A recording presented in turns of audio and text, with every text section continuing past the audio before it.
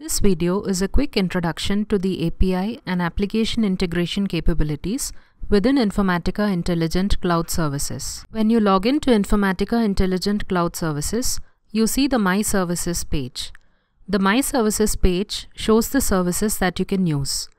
The services you see on this page are based on your organization's licenses and your user permissions. Use this page to switch between services. If you click Show All Services, you will see all the Informatica Intelligent Cloud services. Some services have free trial versions that you can try out. Hover over the lower right corner to find descriptions of the services. You can set the service you use most frequently as the default service. Then when you log into Informatica Intelligent Cloud Services in the future, You'll skip the My Services page and go directly to the default services homepage. Now let's open the application integration service. This service provides design time support for real-time data integration, API creation, and business process automation. The name of the service you have open shows in the header.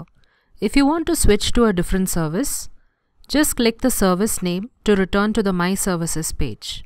The navigation bar always appears in the Informatica Intelligent Cloud Services window, regardless of which page you are viewing. When you first open Application Integration, the Explore page comes up. All your projects, folders and assets are displayed here. Click New on the navigation bar to create an asset. You can create a process, guide, service connector, connection and a process object. Create a process to orchestrate and define control flow logic for business processes that span cloud and on-premise applications. Here is our process designer. When you create a new process, the start and end steps are added by default. You need to fill in the business logic between the start and end steps by dragging and dropping steps onto the canvas.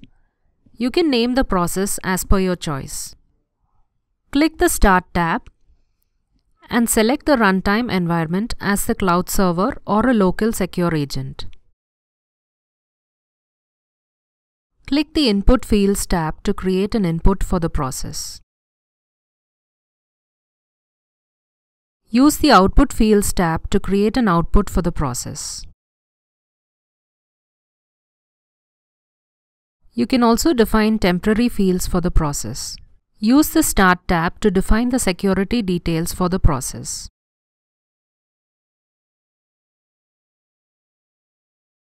You can either define the allowed users and allowed groups who can run this process or allow anonymous access. Let's drag the assignment step between the start and end steps. For each step, you can configure properties in the bottom pane. Let's assign the output field to the input field value.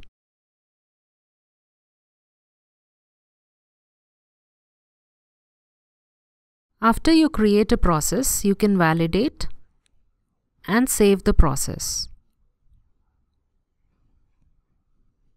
Let's now publish this process.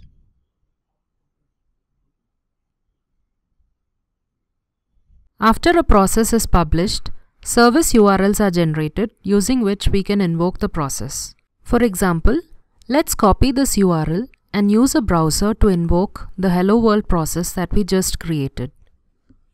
Pass the input parameter and hit enter. Here is our process output. We just saw how a process that encapsulates business logic can be invoked as an API. You can also configure a process to get invoked when a specified event occurs. You can do this by using these fields available on the Start tab of the Start step. Let's look at guides now. A guide is a set of screens or steps that prompts users to review, enter or confirm data. Guides can run on browsers, on computers or on mobile devices. Create a guide in the same way you create a process by dragging and dropping steps onto the canvas and configuring step properties in the bottom pane. After you create a guide, validate, save and publish the guide. When you publish a guide, an embed code is generated. Using this embed code, you can invoke the guide. You can also run and simulate a guide.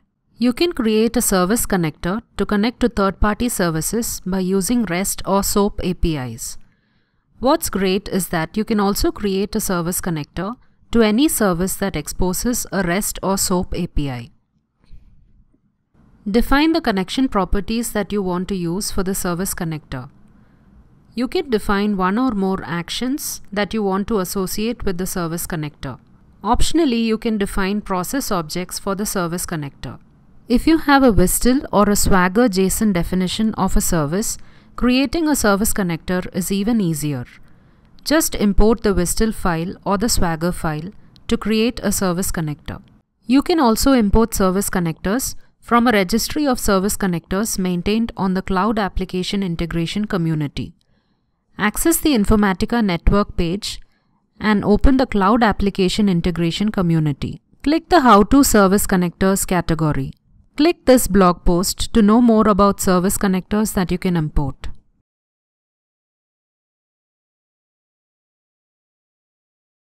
Validate and save the service connector and then publish it. After you create a service connector, you must create a connection to use the service connector in a process. Select the type of connection that you want to create. Define the associated connection properties. You can create connections using built-in connectors such as the file connector and the JDBC connector.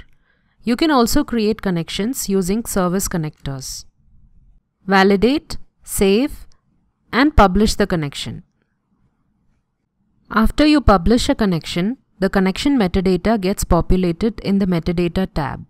Create a process object to group and structure data. Add fields to create a process object. For example, instead of having separate fields for each kind of demographic data, you could have one process object called demographic data that contains fields for the name, address and phone number fields.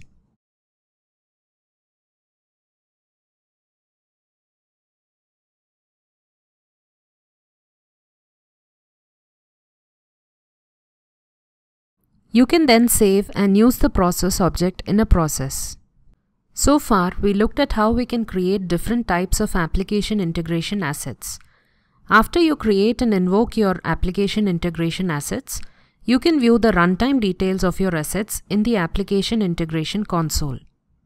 Let's open the Application Integration Console.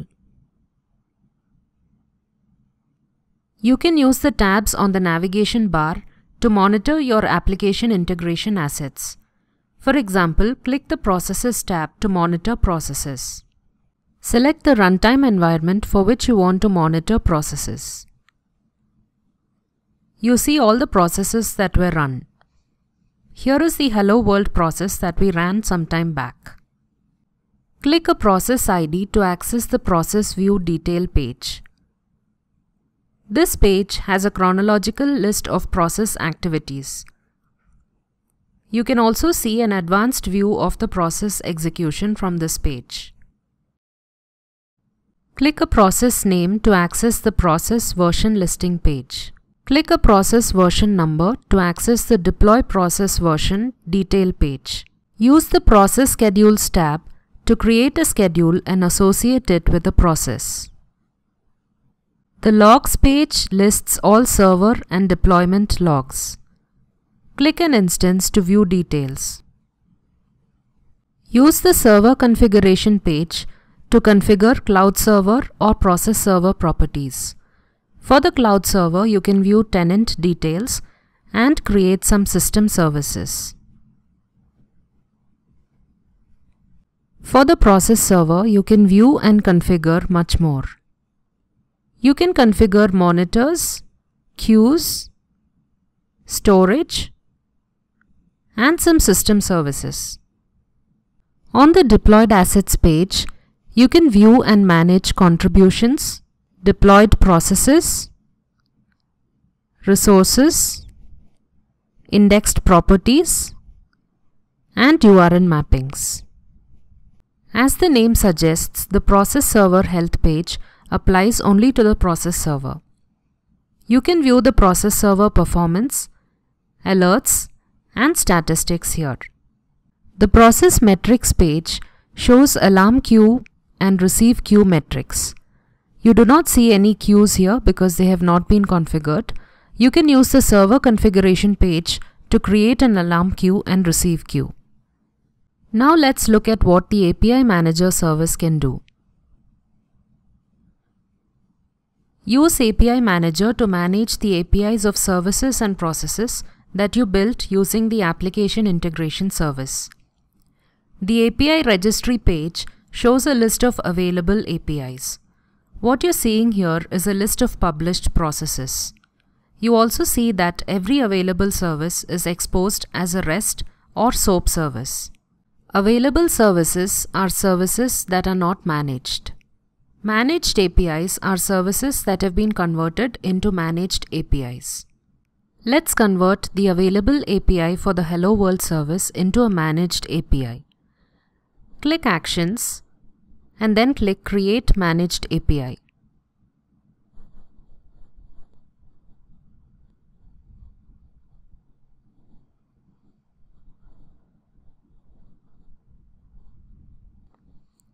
The Hello World service now appears under Managed Services. Once the API is managed, it has a unique endpoint that can be used for invocation. You can also apply different policies on managed APIs and perform analytics on them.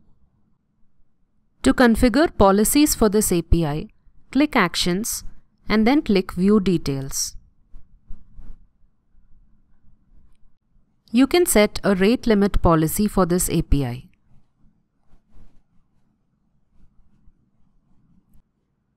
For example, if you set the policy to allow 5 requests in every 60 seconds, this API can only be invoked 5 times in a minute by any user. If a user tries to invoke the API for a sixth time, an error will be displayed. Use the Policies page to set organization-wide API policies. You can set rate limit policies as well as IP filtering policies. The Analytics page shows you how many times managed APIs have been invoked and on what date. It also shows the top APIs and top users. You can also assign an API to a group. Click Actions and then click Add to Group. Select an existing group name or create a new group. To get the managed API URL, open the API portal service. Click Actions and then click Copy URL.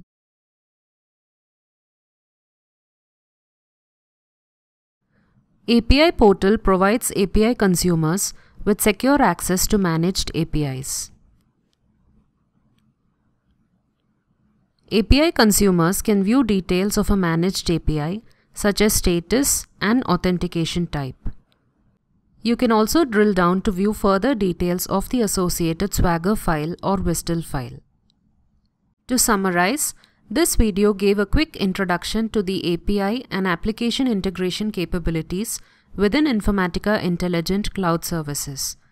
We also gave an overview of the following services that help provide solutions for your use case. Application Integration, Application Integration Console, API Manager, and API Portal.